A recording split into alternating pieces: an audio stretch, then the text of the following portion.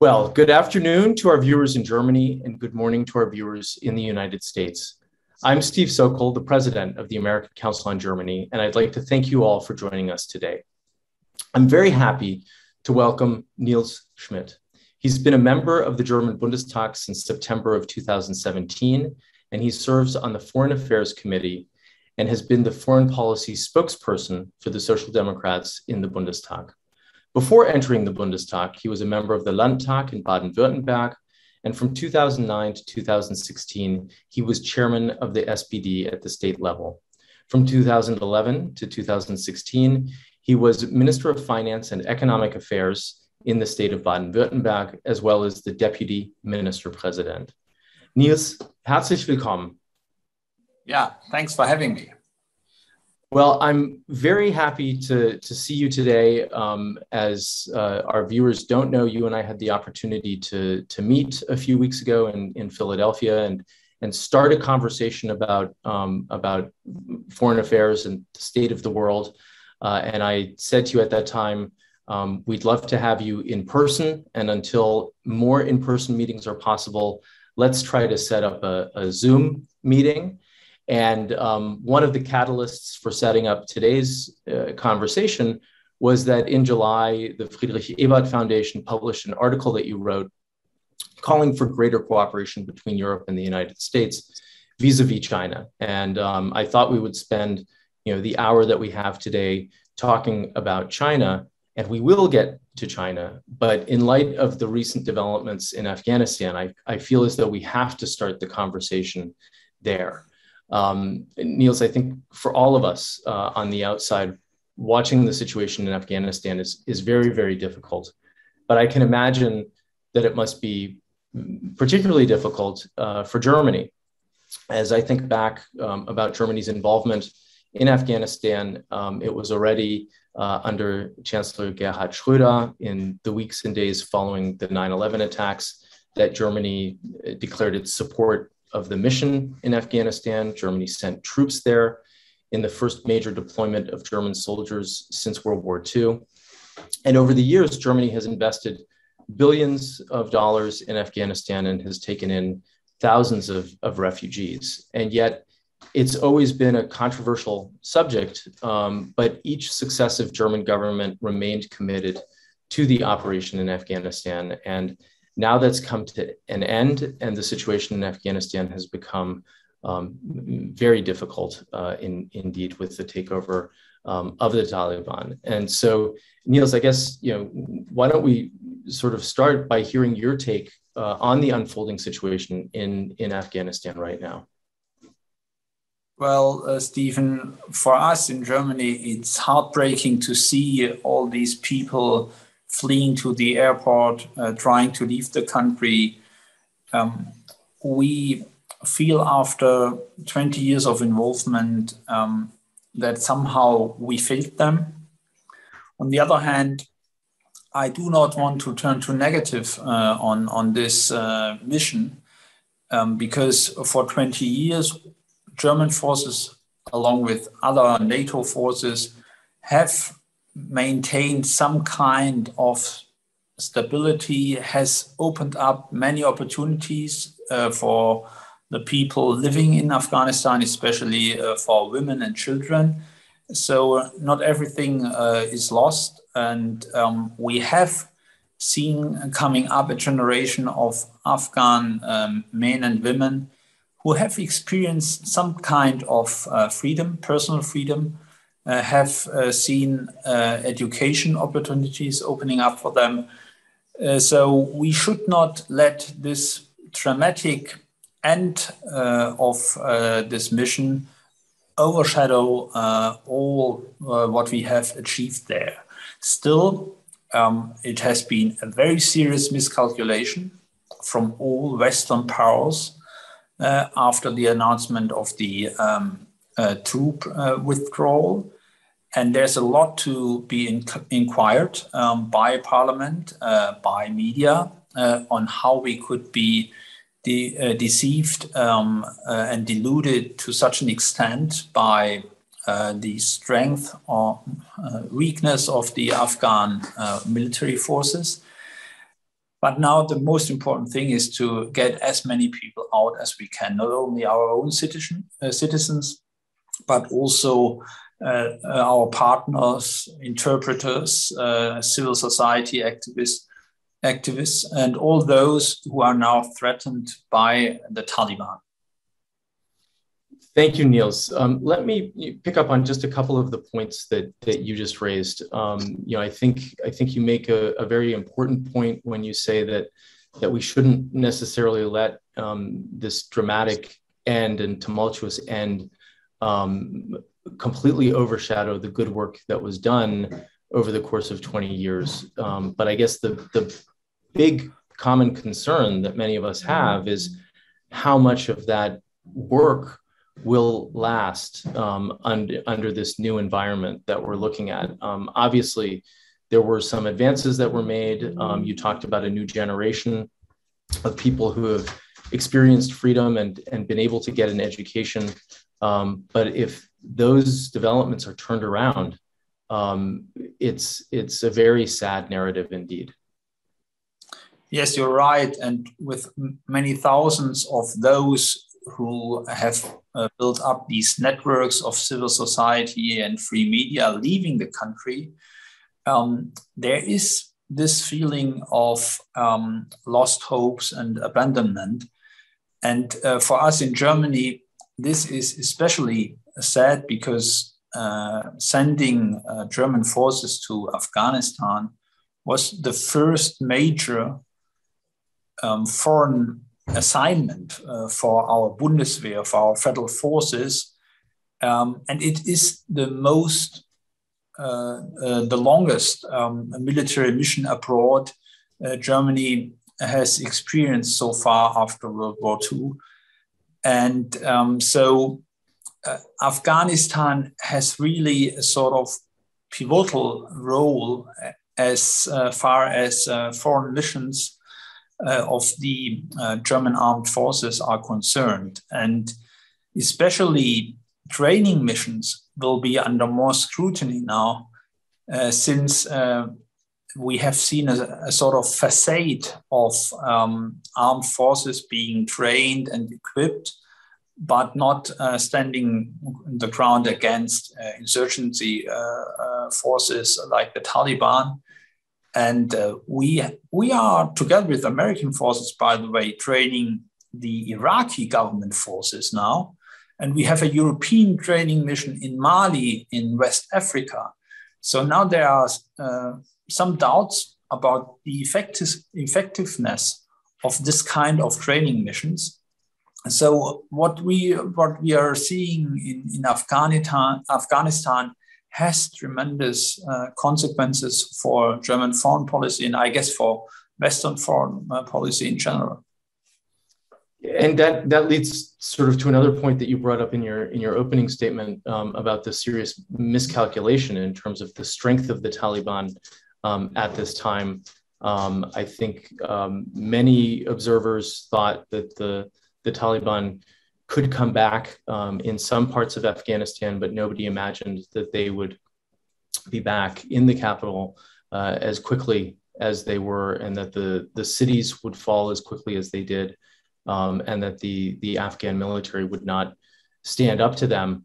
Um, in some of the analysis that I've heard with, with US military leaders who were involved in some of the training, um, they commented that the, the Afghan army was trained um, more in the model of the US military or a Western military and not in the model of um, the, the kind of force they would be opposing, um, and that that might have been a mistake.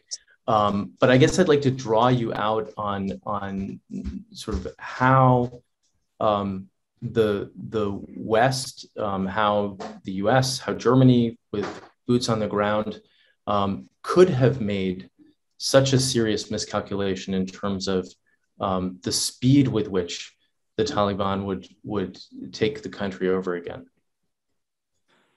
Well, to me, it has become clear over the last few days uh, since we've had uh, special sessions in, uh, in, in the Bundestag on on on committee level um, that our intelligence uh, services have failed So only one week ago, last Friday, our intelligence uh, services told us that Kabul will not fall soon.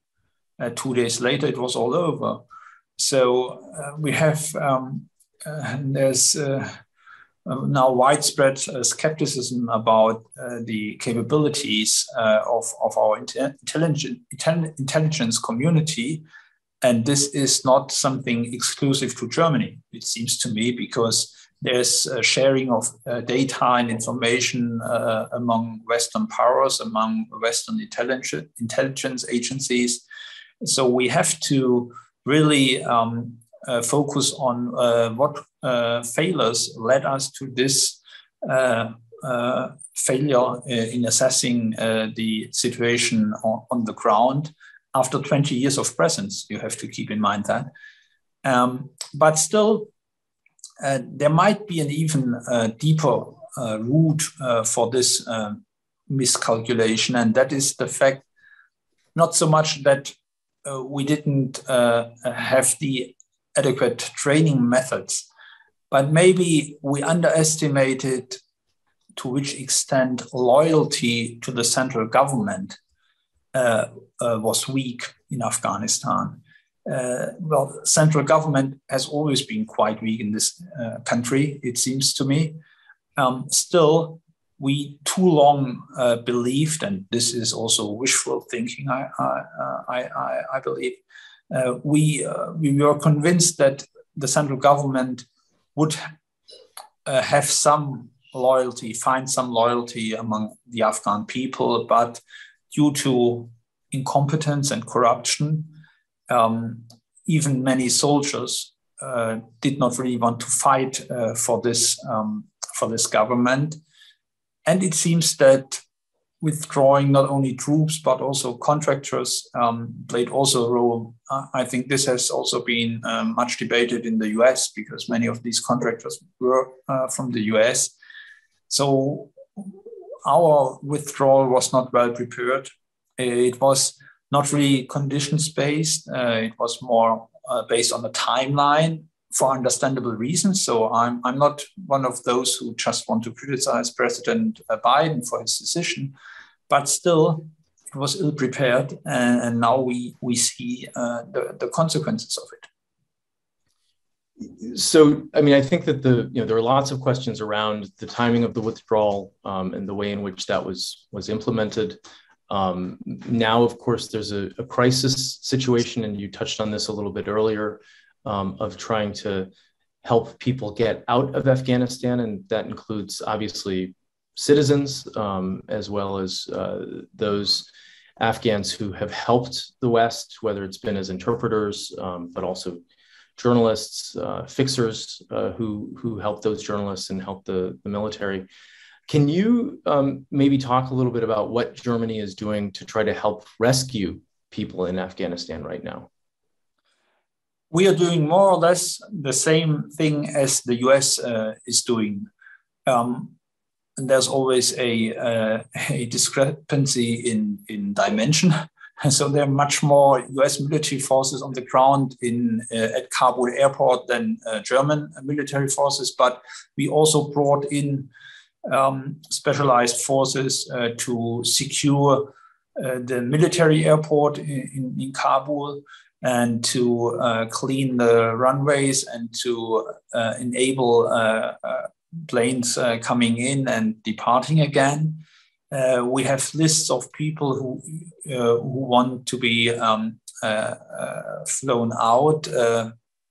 one is our own citizens. The second is uh, partners, uh, contractors, uh, staff, which who has who have ties to German civil organizations or governmental agencies in terms of um, development aid. Or, and the third group is activists uh, who are under threat from the Taliban and who need um, protection and who must uh, uh, be flown out immediately.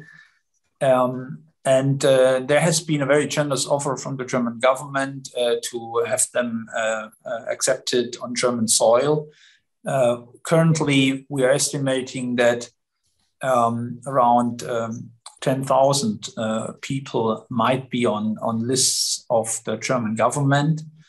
Um, many of the military partner, partners of German military have already been flown out before the, the fall of the Afghan government via regular or charter flights. Uh, that was uh, uh, uh, possible.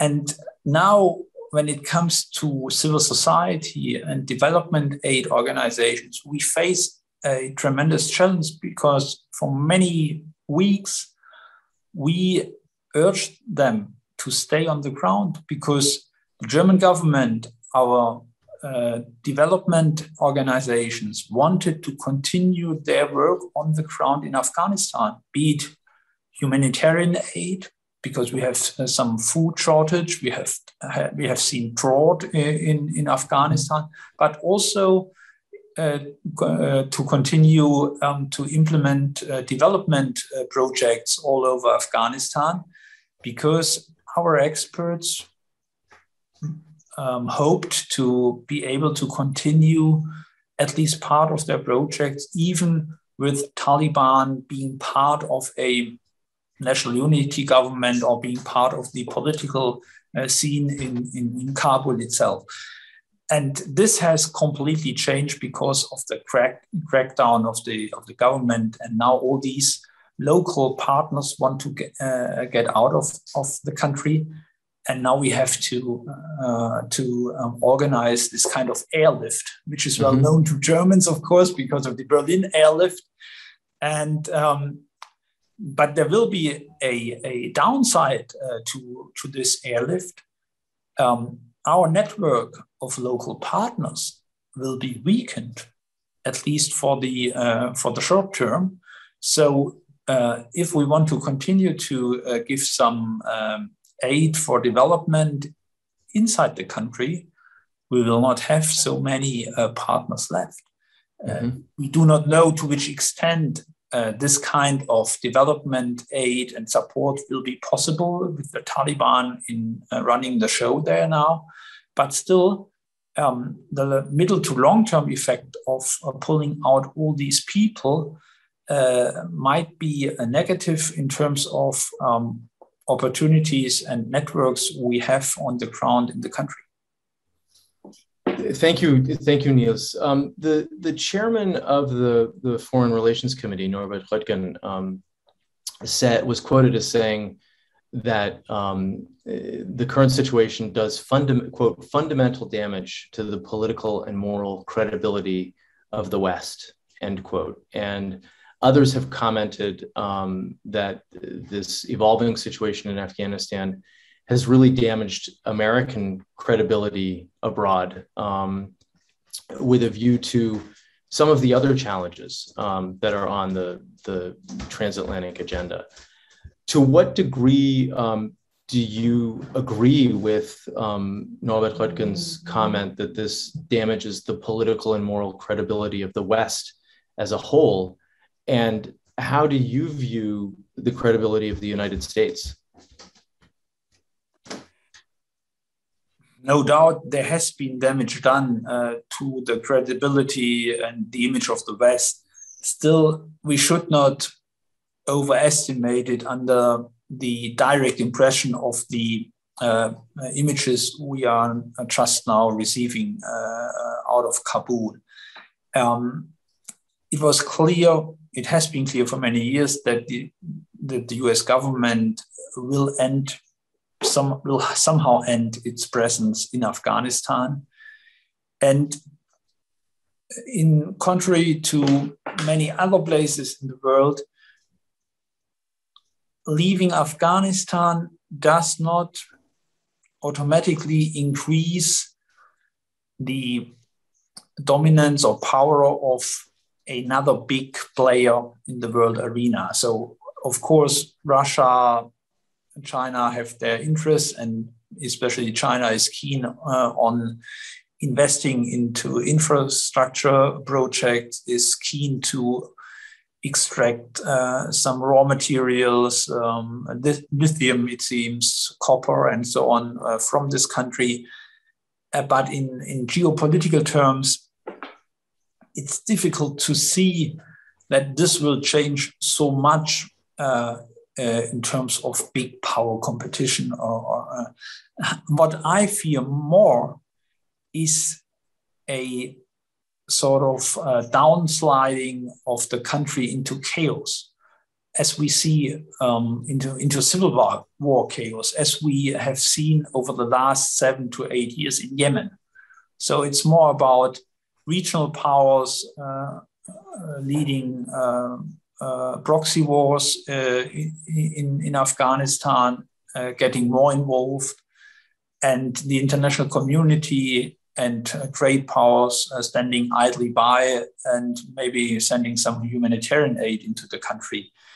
Uh, this is a, a, will have terrible consequences uh, for the population in, in, Afghanistan. And I think this is the, the more acute danger uh, uh, for, for, for the people in Afghanistan than a loss um, for the West in a sort of big power competition with other uh, countries like uh, China or Russia. Maybe a little um, later in our conversation, we can come back to, to that point um, of, of China and Russia perhaps filling a vacuum in Afghanistan um, or, or elsewhere. But I was interested to to hear your thoughts about um, American credibility, credibility of the West, um, but also this notion of the international community standing by um, and watching some of this happen. Because um, in your article on China, you talked a little bit about um, the importance of President Biden's trip to Europe and his recommitment to working with allies, and that his visit actually sent a strong message um, of the West's unity to the rest of the world. Um, on some levels, one might say that that was June, and now in August, um, that message is somewhat diluted. But would you would you say that there's still that sort of message of unity that's going out, or has that changed a little bit? Well, now with regard to Afghanistan, this message has been weakened in a way. I, I believe that is true, but in a very predictable manner, because Afghanistan, from a US perspective, is not really seen as a test case for this credibility and for this political will to act uh, on the world stage. Um, unfortunately, and this is um, for us Europeans not so much a, an, a, a, a problem, so to say, because even from our European perspective, we were not ready to invest too much, to get too much involved uh, in, in Afghanistan. Afghanistan, from the very beginning, was a US led mission and it is till the end. And even for the evacuation mission, it's still up to the US to decide to which extent uh, it will be um, extended, uh, when it will end, and so on and so forth. Uh, so, uh, as I've said, although it's very difficult to say this now with all the drama uh, unfolding in Kabul and in other places in Afghanistan, um, when it comes to the credibility of the West and the unity, the transatlantic unity, um, Afghanistan is too much, I would say, of the past. And um, I still believe that Joe Biden uh, will, will continue to work on this unity, but in a much more focused way. And we Europeans will be challenged to, or our challenge will be to cooperate with the US administration on certain issues, but the US will also leave us alone with other issues which seem secondary uh, from Washington. But from a European perspective, uh, this might be quite different. Take Libya, for example, mm-hmm. or even Ukraine to a certain extent, or the West, uh, the Balkans, definitely. And uh, the challenge is uh, to organize a sort of division of labor between Europe and the US um, when it comes to different crisis zones, uh, crisis area areas, um, and probably in the European neighborhood will be we will have to take on more responsibilities, and in the Pacific it will be uh, much more the US's uh, task, uh, especially in military terms, uh, and and I think that the US government uh, is prepared to work with allies, with European allies in, in this manner. And now the question is is there still enough attention left for places like Yemen or Afghanistan? Um, you, you, you find in both cases very valuable arguments that this really matters uh, to global security. So, in the case of Yemen, you have uh, uh, navigation routes. Um, in the case of, Afghanistan, you have uh, raw materials, you have uh, the, the, uh, the, neighborhood to, to the neighboring countries like China. but what we what we have to deal with is to find the right priorities without giving up on on um, helping people who live under disastrous uh, conditions, like in Yemen and maybe, or most probably, also in Afghanistan. Mm-hmm. Mm-hmm. I mean, I think you're right. There might be some some sort of changing priorities over time, but this yeah. uh, your comments just now um, fed into a, a follow-on question that that I had wanted to ask you about, picking up again on your your article about China, where you talked about the importance of having um, Europe speak with um, a more uh, coordinated voice, um, with a, a, single voice. And um, Elizabeth Pond has actually sent in a question that ties in perfectly for where we are in the conversation right now. She writes, What do you think will be the impact of the US withdrawal from Afghanistan on the debate in Germany and France about striving for strategic autonomy and a distancing from US leadership in foreign policy? Do you think that that this might be a catalyst um, for that debate to to continue on? It truly is. Um, as I've said, the Afghanistan operation from the very first beginning was an unbalanced mission, so to say, because it was primarily led and also executed by American forces. And many important European nations, NATO uh, partners, uh, unilaterally withdraw, withdrew uh, their troops um, before the end of the mission. After governmental changes in Spain and France, for example, these two major European countries uh, stopped uh, their engagement in Afghanistan. And so I believe there has never been a plausible opportunity for Europeans to rebalance um, the NATO uh, mission in Afghanistan. So it has always been an American dominated mission. And uh, this, and especially the end of this mission, and the way Biden decided uh, how uh, this mission should be terminated, uh, once again uh, showed us Europeans that we need to strive not for strategic autonomy, but rather for European sovereignty.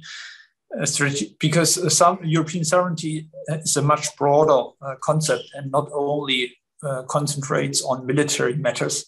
It's also about trade and industrial policy innovation, also about Eurobonds and the financial um, autonomy uh, uh, of, of, uh, of, of, the European community or European Union.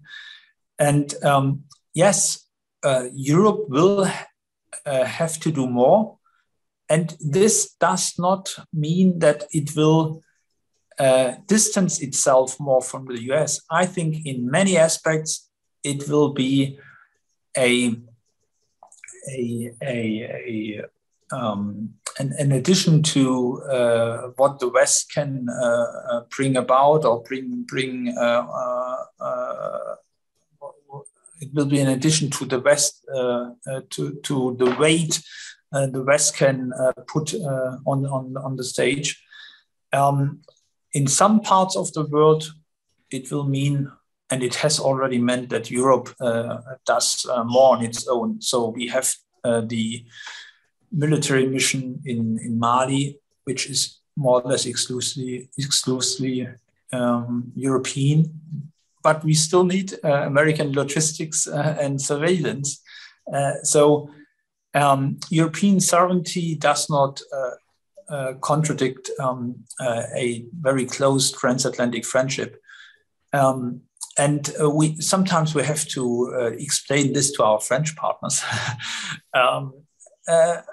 uh, uh, but uh, well, uh, we'll see in Mali if we can do better, if we Europeans will be able to um, find the right exit strategy.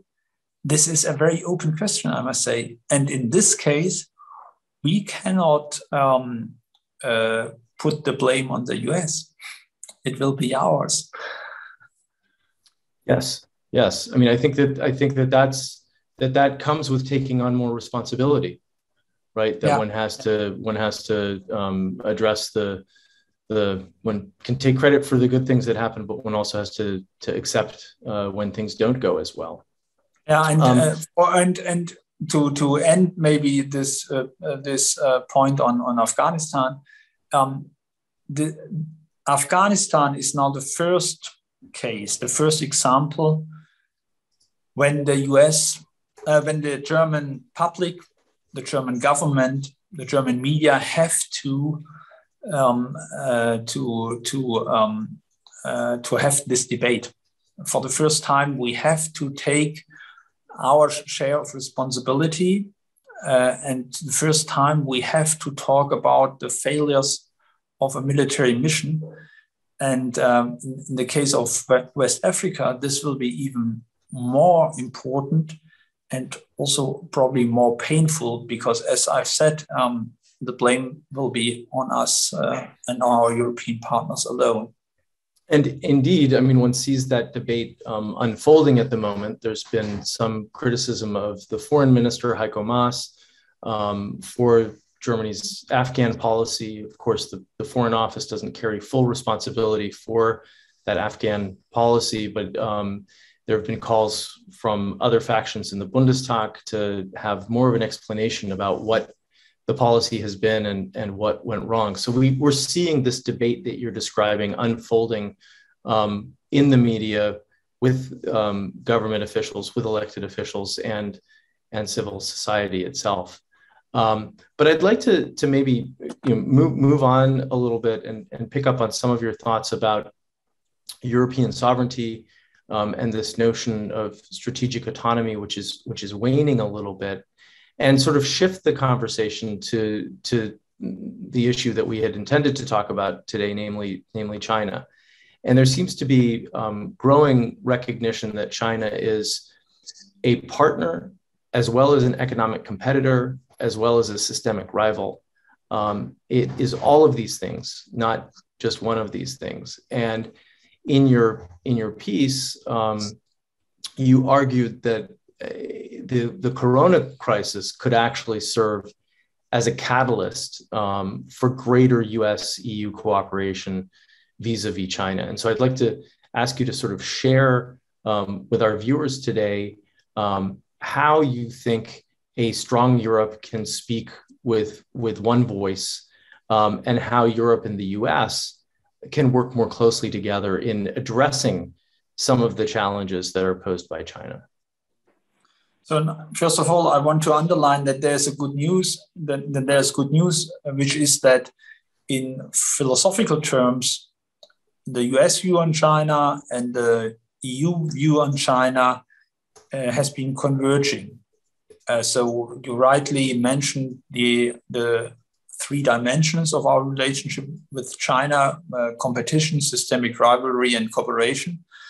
And um, uh, this was first introduced by the EU Commission, uh, and now it was more or less taken over by Blinken in his statement about confronting China and cooperating with China and so on. And I believe that this is uh, this is a very solid um, common ground for us uh, to take on the China challenge.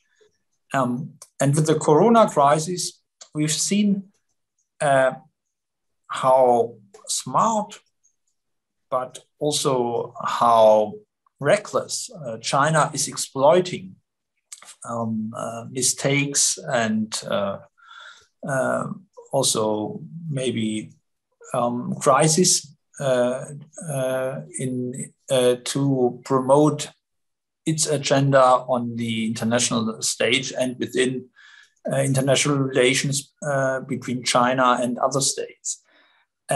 so this um, created an even more acute sense of urgency for cooperation between the US and um, uh, uh, the European Union.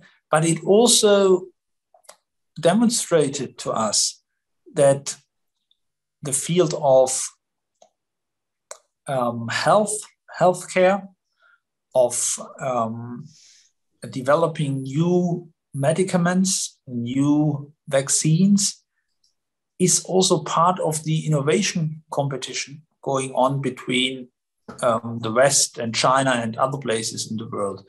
And so I believe that uh, we should expand our transatlantic relationship uh, from the rather traditional issues like trade in manufactured goods and uh, cars and uh, pharmaceuticals and uh, uh, um, um, planes and so on to the high tech goods and services.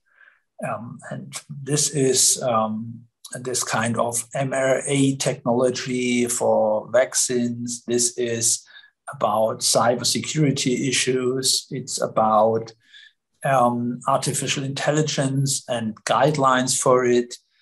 And uh, I think um, the Biden team is quite ready for that. We, we are now seeing the establishment of a US EU Technology Council. And um, so uh, all those who are interested in the transatlantic relationship should understand that um, the traditional themes are all right and will be of importance in the future, but we should invest much more in these um, new technology uh, issues. Um, and um, when I went to Congress after coming over to Philadelphia, meeting you, and when I went to Congress to see some uh, of its members, um, I advocated for a very closer, for a much closer look at how international standards for new technologies are set, because this is the big game of the future. Who sets the standards, dominates, or defines the market? Mm-hmm. And uh, that was already the wisdom of Werner von Siemens, the founder of Siemens uh, company.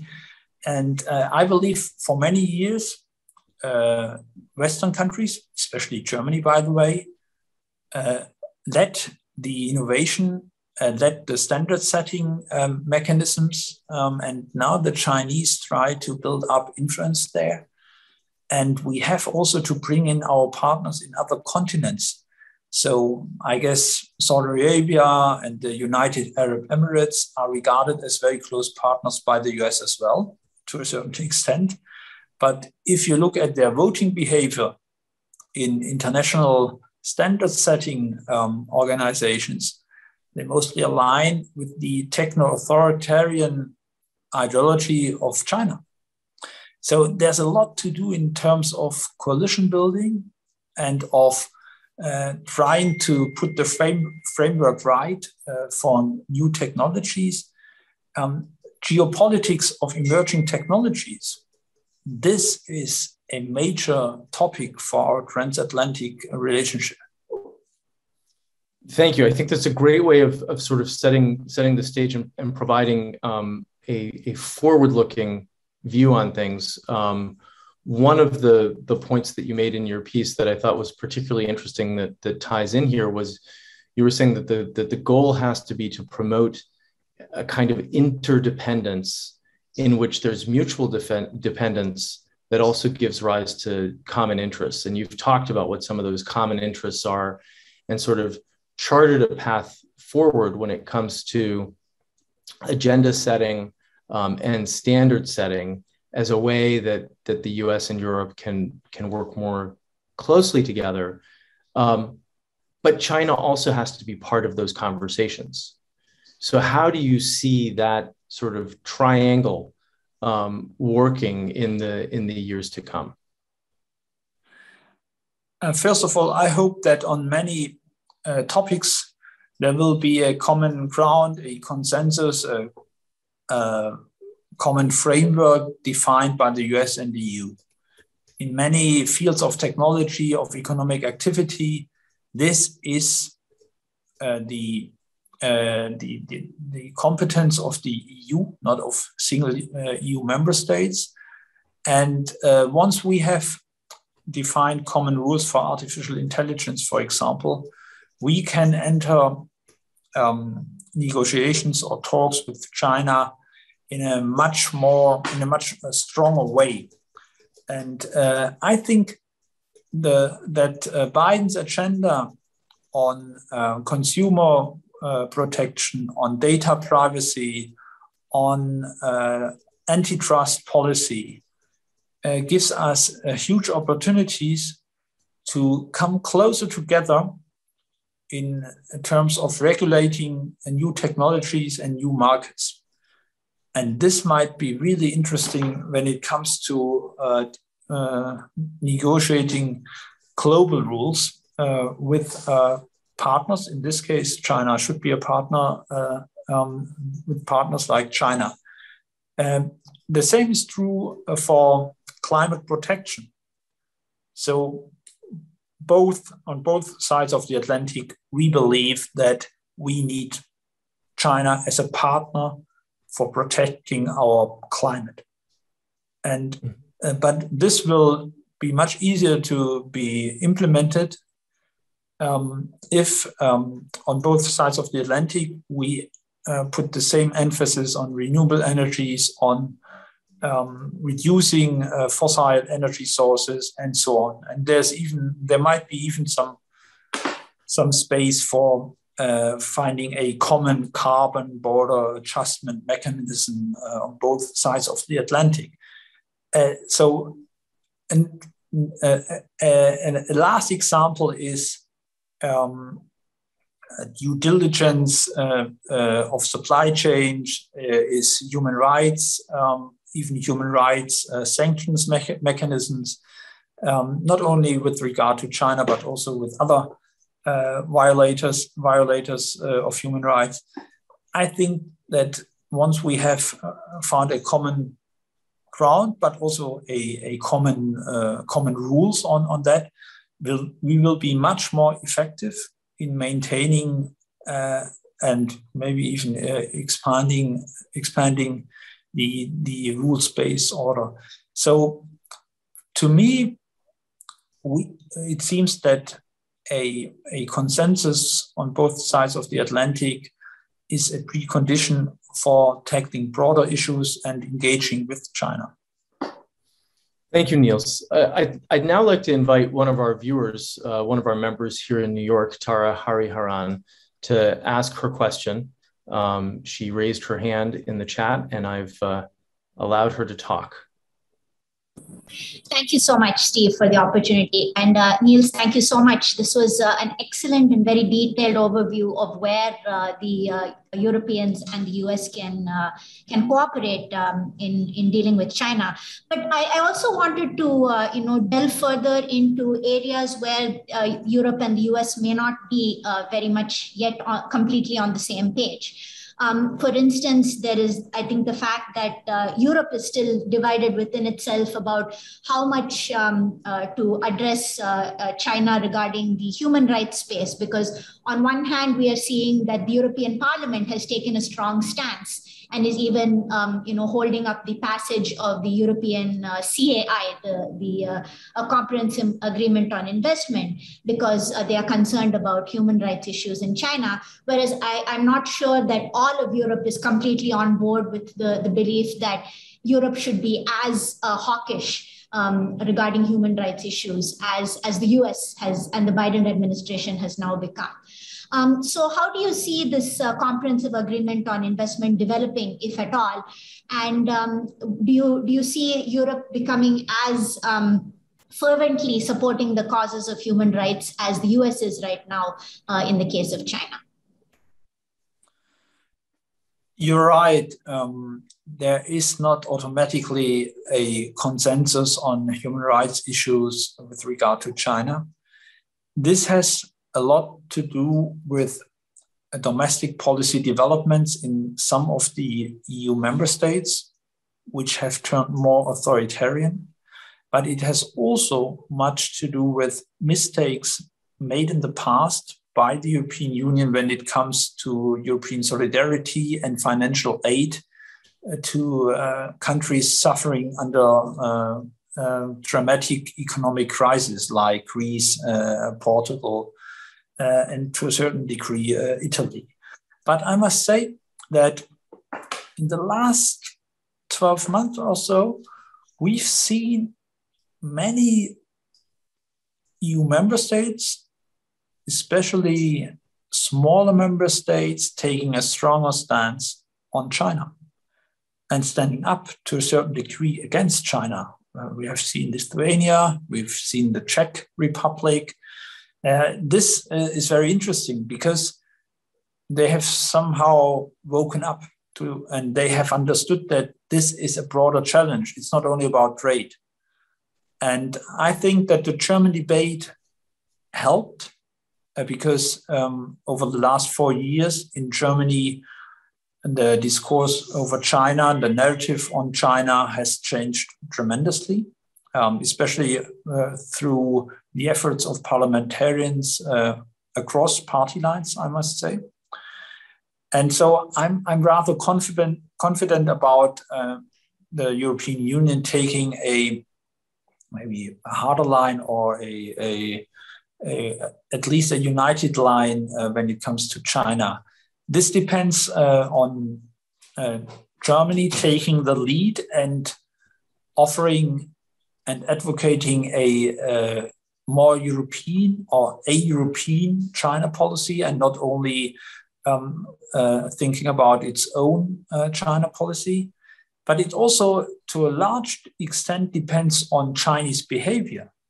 So, uh, Chi- uh, Chinese uh, wolf diplomacy, some rather aggressive remarks coming out of the Chinese government have also raised some skepticism uh, about uh, how China behaves vis-a-vis uh, smaller states in Europe.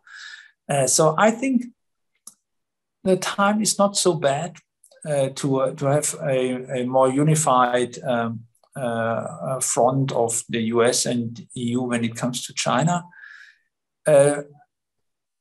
as far as the trade agreement is concerned, I think there was some willingness and some readiness on the European side uh, to sign another trade agreement, even uh, if it is not reci- uh, uh fully reciprocal in terms of market access.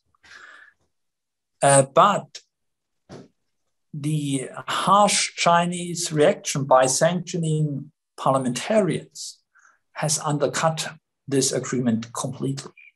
So um, Chinese sanctions targeted the heart of democracy in Europe. And I'm not sure if they really had thought about it before. If they wanted to do that, then it's fine. They got what they wanted. um, uh, um, uh, harsh uh, reactions from the European Parliament and from national parliaments. Uh, but they uh, more or less sunk uh, the, the trade agreement because no European parliamentarian will accept that democratically elected um, representatives of Europe or of any European nation are sanctioned uh, this way.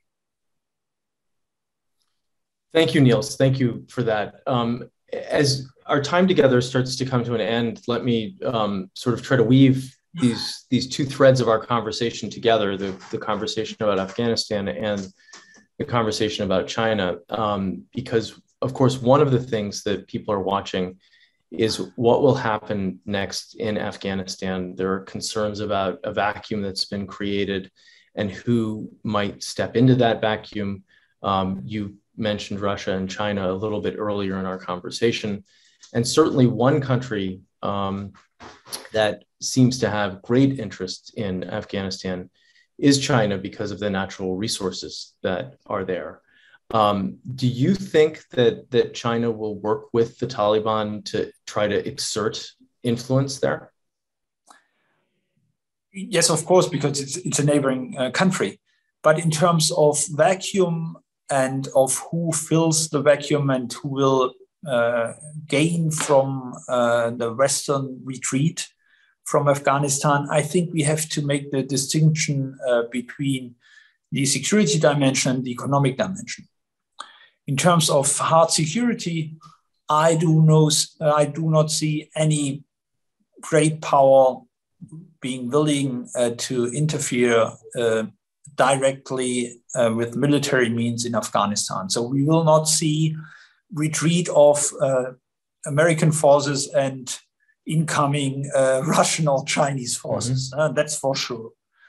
Um, in, in security terms, as I've already mentioned, I rather uh, expect and fear a return to a civil war like situation uh, with involvement from direct neighbors. So it, it will be a more, more of a regional conflict, so to say. You will see Iranian influence because of the Shia. You will see Pakistani influence for, for evident reasons, maybe others also joining some uh, some uh, uh, regional powers, regional states trying to find some proxy weapons delivery, maybe from all of them. But in terms of security, this will be a rather complicated situation. In terms of e economic influence, of course, China wants to add Afghanistan to the list of their uh, uh, Silk Road uh, um, uh, Belt and Road Initiative. Um, in terms of infrastructure and uh, trade routes, this is not really necessary, and it's an, uh, a difficult country uh, for uh, for transport, for geographic, geographic and uh, topographical reasons. And they have already the Gwadar or the Chinese Pakistan economic corridor, uh, and so for that for this corridor they do not really need uh, uh Afghanistan. But in terms of raw material, uh, this is much more interesting, mm-hmm. and uh, many of of the uh, powers, especially Russia and China, will try to find uh, some uh, some um, some raw materials there, but China always waits for stability to come in. And that's why they are eager to um, work together with the Taliban because they do not care for human rights and for, for the uh, domestic uh, constitution system of, of any country. They just want to have a stable uh, framework, a secure uh, environment for their investment activities and their economic activities. And maybe this should also give us some hope because this might help to create an international environment which might oblige the Taliban to compromise with internal competitors, non-Taliban parts of uh, Afghan of the Afghan society. Mm-hmm. And we still hope, and there's much diplomatic effort deployed by the German government. Uh, we still hope uh, for the Doha round of negotiations to uh, to find a peaceful solution to this conflict and to to find a a constitution which might enable most of the Afghan people to live somehow together. This might not fulfill our hopes and our promises, but still it might end uh, or might avoid, uh, avoid uh, another civil war. This is not so likely, uh, but I think in terms of international diplomacy, we need a co- coordinated uh, effort to have a sort of regional peace framework, a sort of Af- Afghan Afghanistan peace group uh, that works on that. Um, otherwise, um, Chinese investment will not uh, flow in so easily. Um, in, this, in a civil war uh, torn country, you cannot really invest. Mm-hmm. So, Nils, I'd like to close with a, a, viewer question that was just submitted to the chat. Um, one of our viewers writes After what has happened this past week, as a NATO member state, does Germany still think that the United States is a reliable partner that is committed to multilateralism? Yes, yes, 100%. I think that we should not um, derive too much um, uh, uh, from from the situation in Afghanistan. It's, it, it was poorly conducted. It, it's it's tragic. It's terrible, and we have to correct as much as we can do uh, um, on the ground there by taking in uh, as many Afghan people as possible in the US as well as in Europe. But still, I do not like this idea of that this is a complete failure in terms of overall credibility or even in terms of NATO um, cohesion. No, uh, I think uh, Trump's presidency was much more uh, damaging uh, to the credibility of NATO uh, than with regard to NATO member states, of course, um, um, than, than what we've seen in Afghanistan. Well, Nils, um, I'd like to thank you for speaking with, with us today, not about one complex issue, but about two complex issues and how they tie together and about the transatlantic relationship um, overall. This has been a, a very thoughtful and very thought provoking conversation. And so I'd like to thank you again for, for taking the time. Um, I wish you a, a good weekend and our viewers a good weekend as well. It was my pleasure. Thank you, Stephen.